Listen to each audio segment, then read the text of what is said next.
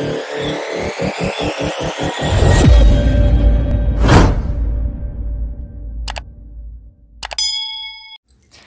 GATE aspirants, welcome to GATE Chemical Solution channel. This is uh, one more fluid mechanics question in the year 2020 GATE question paper. Please read the question very carefully and identify what is given and what we have to find out. So we will see the concept for this problem. Then we will go for the problem solution. If you are well aware of the concept, you can skip the concept explanation part and directly you can go for the problem solution. Okay. So this problem is related to boundary layer formation and fluid flow in a boundary layer over a flat plate. In the previous problems I have problem I have discussed the boundary layer formation in the tubes. So this problem is related to the boundary layer formation over a flat plate and how the flow in the boundary layer we will see. Okay, so actually the boundary layer is defined as the part of the moving fluid in which the fluid motion is influenced by the presence of the solid boundary. Here the solid is the flat plate. Okay. Consider a free stream of fluid flowing over a flat plate. The flow of the this fluid is parallel to the flat surface. Okay, flat plate surface. Velocity of the entire entire free stream is uniform. That is u infinity. Okay, so this is in the upstream. So once it is entering over the flat uh, flat plate, what happens?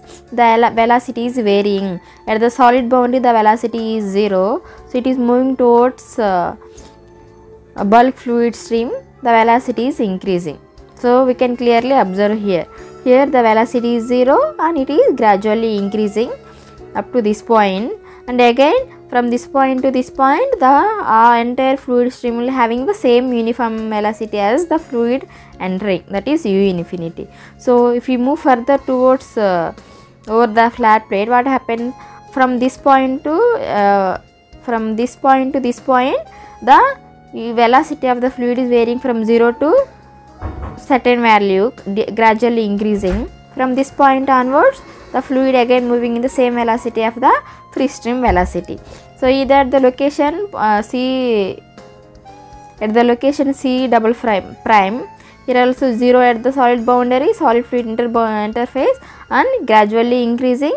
If you reach at this point it is almost 99% of the free stream velocity that is bulk fluid velocity. This is this is the bulk fluid if you observe the the line OL, OL indicates the boundary layer. So here the thickness of the boundary layer is gradually increasing from the leading edge of the plate. This is the leading edge of the plate. So if you move distance from the leading edge the distance is indicated by x. If you move from the leading edge of the plate the boundary layer thickness is gradually increasing. Okay? So once it reaches at this point the complete velocity profile distribution is formed okay? It is almost 99% of the free stream velocity. Here at this point it is almost 99% of the free stream velocity. This imaginary line separates the fluid that is affected by the presence of the solid boundary and the fluid that is not affected by the solid. So this is the fluid fluid of free stream that is not affected by the solid boundary. Only this portion of the fluid is affected by the presence of solid boundary. So this is called as the boundary la- boundary layer. So that if you see the um, this line OL the boundary layer thickness thickness this is zx indicates the thickness of the boundary layer. At, at the point C the thickness is zx at the point C prime it is zx prime so if you see gradually it is increasing. If you go further again it is increasing. But at one part if you reach this beyond this point the thickness will be constant. So even the further going over the flat, flat plate the thickness is does not changing. So it means completely the velocity is distributed.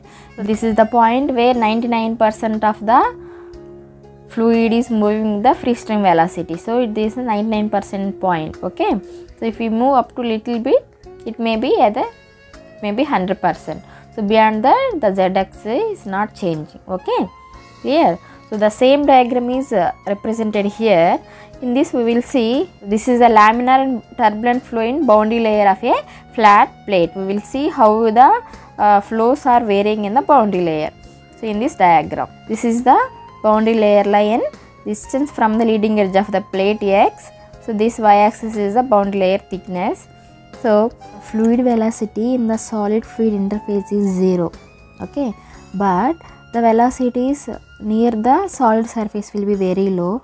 Most of the cases the, velo- the in this region the flow is be laminar okay? Most of the cases uh, the flow in this region should be laminar.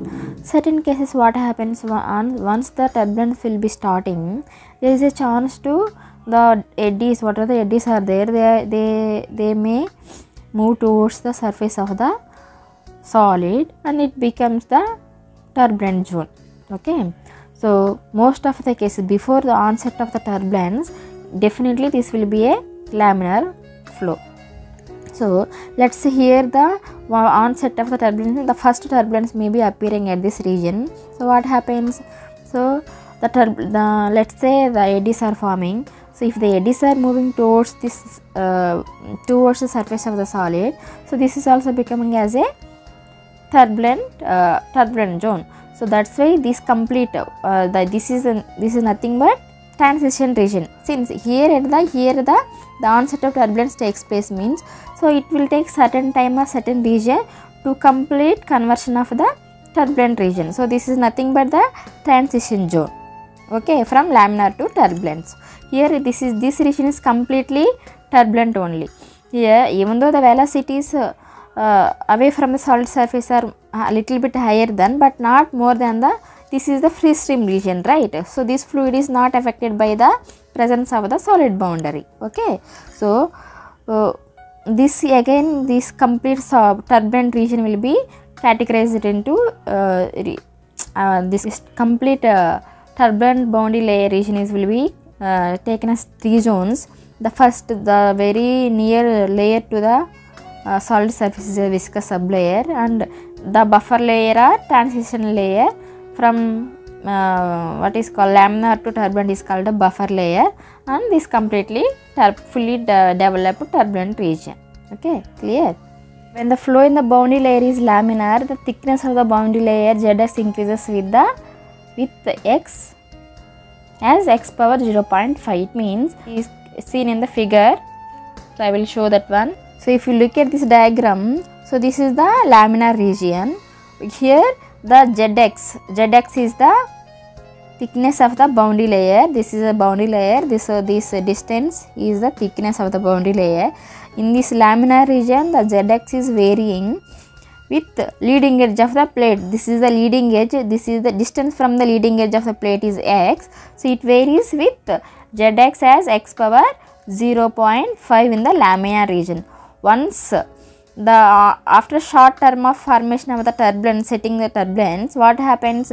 Zx is increasing x power 1.5 see if you observe this one see here it is it is, it is the starting point of the turbulence. After short time of the sh- short time of the starting point of the turbulence the thickness of the boundary layer is rapidly increasing. If you observe in the diagram clearly it is visible okay? That is 1.5 power of x okay? x power 1.5 if you observe after once a completely the turbulent will be completely developed. In such case zx will be varying as x power 0.8 so once it reaches the variation will be very less that is in the in terms of x power 0.8 so x is the distance from the leading edge of the plate. Clear? Okay so after turbulence is fully developed x is increases with x power 0.8 in the short, after uh, short time of the turbulence appearance zx increases with x power 1.5 so in the laminar region it is increasing with x power 0.5 okay clear? So we will see transition from laminar to turbulent flow. So we can characterize this laminar turbulent flow based on the Reynolds number right? So the factors determines the point at which turbulence appears in a laminar boundary layer are coordinated by the dimensionless number that is Reynolds number all of you know that one. So that is indicated Rex equal to x u naught rho divided by mu. Here x is the distance from the leading edge of the plate U infinity is free stream velocity or bulk fluid velocity. density of the fluid viscosity of the fluid okay so if we calculate once Reynolds number we can identify whether where uh, laminar and turbulent and transition. So when the fluid is moving parallel to the flat plate, okay, the turbulent flow first appears at a critical Reynolds number between 10 to the power of 5, 5 and 5 to 3 into 10 to the power of 6. In this region, in this Reynolds number region, the transition appears from laminar to turbulent. Okay. So beyond this Reynolds number, completely it is a turbulent. So below this Reynolds number, it is a laminar. This is the turbulent. This is the transition region for fluid is moving parallel to the plate. Okay, clear? So whenever the transition occurs at very low Reynolds number, when the plate is very rough. So if at all the plate is very rough, so this is not smooth plate or this is not rough plate. This relation is given for normal plate. Okay? It is not too smooth and not too rough. Okay? It is normal plate.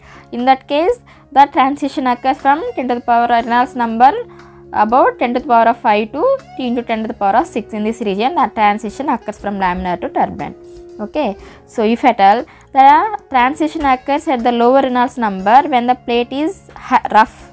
When the plate is very rough the transition occurs below the uh, below this Reynolds number. Even less than the Reynolds number of 10 to the power of 5 itself the transition occurs. Okay. So when the in that case the intensity towards the turbulence will be even higher okay. When the plate is smooth the rex is higher value for transition and the intensity of turbulence in the approaching stream is very low. So if at all the plate is very smooth the transition may occurs beyond this value. Not only in this region it may occurs beyond this value and the approaching towards the turbulence will be is very low. Okay so this is the concept for this uh, problem. We will see the problem solution now. In the problem it is mentioned that incompressible flow of constant property fluid over a smooth thin and wide flat plate. Free stream flow parallel to the surface surface and velocity is constant. So that is free stream velocity will be constant right? So nr at a distance of 2 meters from the leading edge of the plate is 8000 so at a distance 2 meters from the leading edge the flow within the boundary layer at a distance of 1 meter from the leading edge of the plate is. So here the Reynolds number is 8000 okay from this is 2 meters right? From at this point from 1 meter from the leading edge what is the what is the type of the fluid flow whether it is laminar or turbulent or transition? Okay that's what they have asked. So they have for recalling the concept i have written the expression reynolds number equal to x into free stream velocity into density of the fluid divided by mu distance from the leading edge of the plate to free stream velocity or bulk fluid velocity density of the fluid viscosity of the fluid okay so when the flow is flow is parallel to the smooth flat surface, the first turbulence appears at a critical Reynolds number between 10 to the power of 5 to 3 into 10 to the power of 6 in this region the transition occurs. So they have given at a 2 meter distance from the leading edge the Reynolds number is 8000. Okay. So this is the 2 meters let's say. Already here 8 is the Reynolds number at 2 meter distance from the leading edge. So at 1 meter already it is in the region of laminar as per this uh, value right. Okay again below this one is obviously it is a laminar flow only. Clear? I hope you have understand the concept and the problem. If you like the video share and subscribe. Thank you.